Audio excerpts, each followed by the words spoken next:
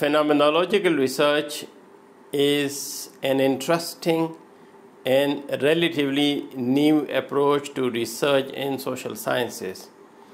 In today's presentation, we will have a brief introduction to the concept of phenomenology in general, to phenomenological research, and to the objectives of phenomenological research and the general process of phenomenological research.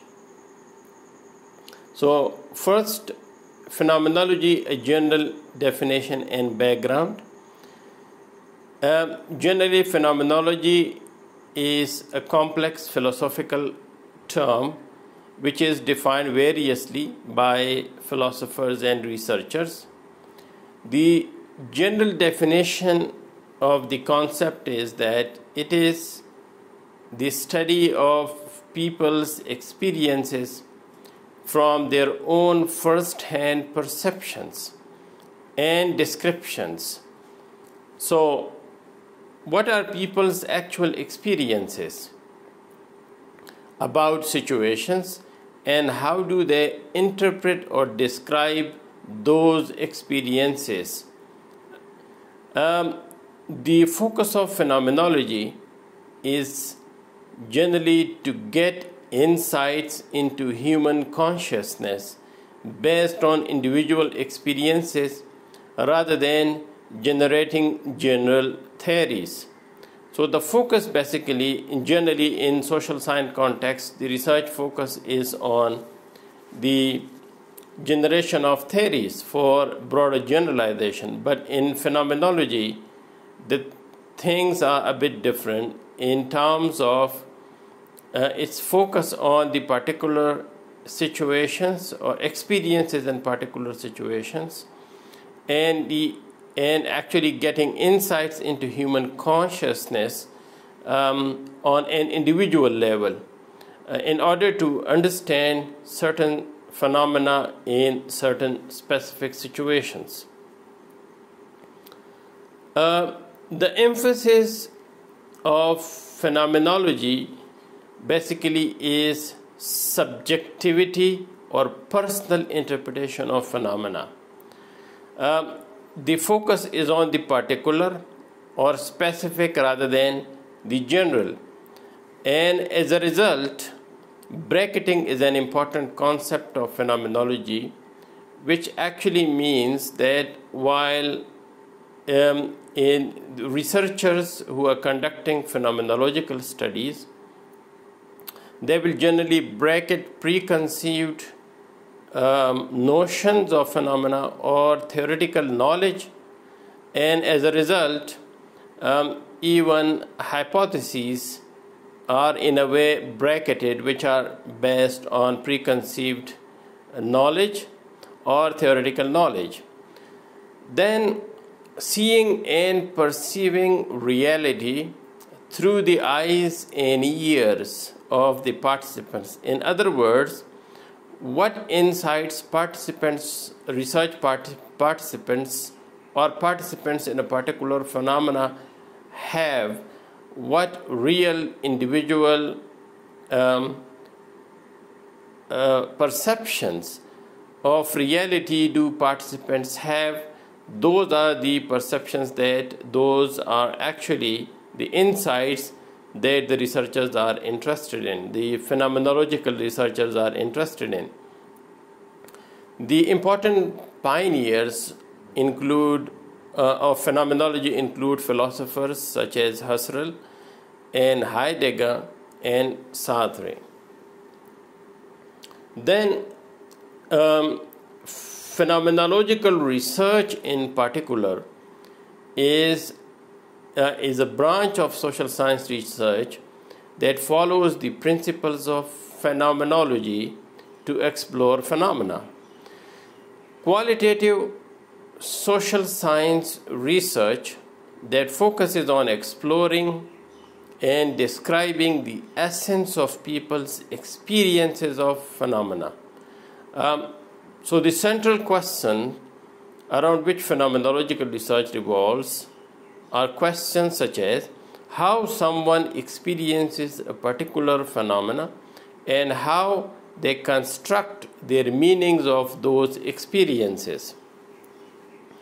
Um, again, to reiterate the point, the focus is on personal perspectives or interpretation of phenomena. So we will have some examples in order to understand uh, what do we uh, mean by these interpretations of phenomenological research. Um, and so there are these are example questions uh, in order to elaborate on the central concepts of phenomenological research.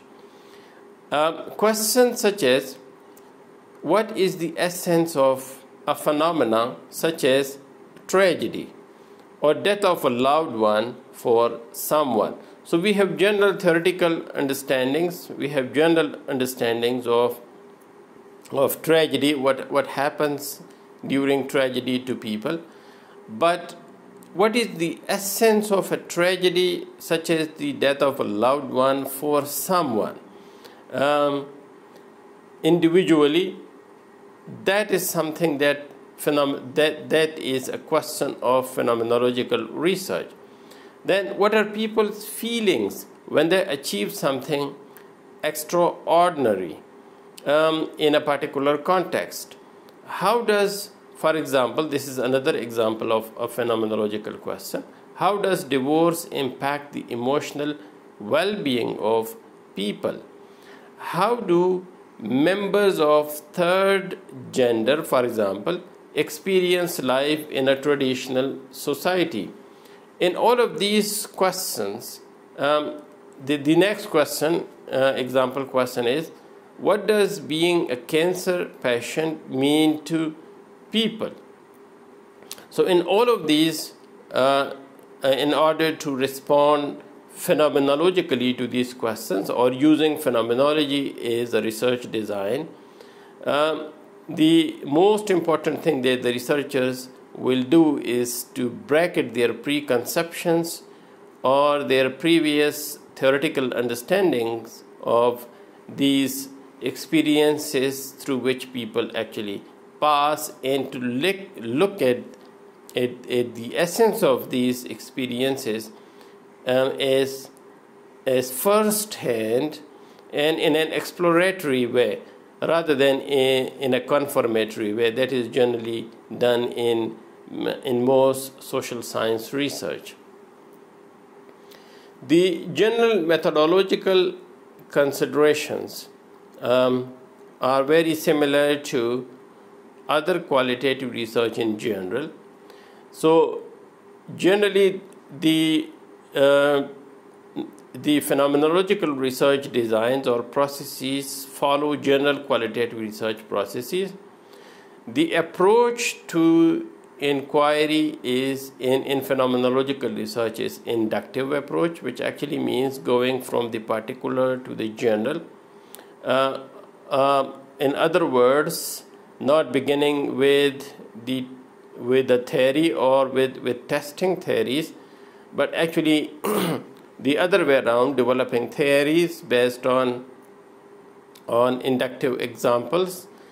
Smaller samples generally uh, participants in phenomenological studies uh, could range from 1 to 15 in generally uh, uh, so smaller samples are selected in phenomenological studies. The data collection could be in the form of interviews or focus groups, could be in the form of uh, participant observations or discussions, or textual analysis, such as analysis of letters and diaries and other uh, reflective journals. The data analysis is generally done again inductively.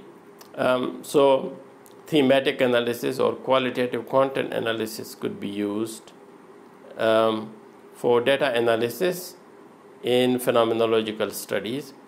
And ethical considerations such as confidentiality anonymity and informed consent are important considerations in the general methodological considerations of phenomenological studies. Um, and generally naturalistic or inductive the generalizations uh, so as we know that generalization of the findings is not generally the aim of phenomenological studies but as in general qualitative studies there is a way of generalizing findings in certain situations and that is called naturalistic or inductive generalization. In other words the generalization of uh, insights from particular situations is left to the discretion of the readers um, who can get insights into particular situations in order to understand other similar situations. Um, so here are some certain suggested readings that uh, you can read for further um, understanding of the concepts of phenomenological research.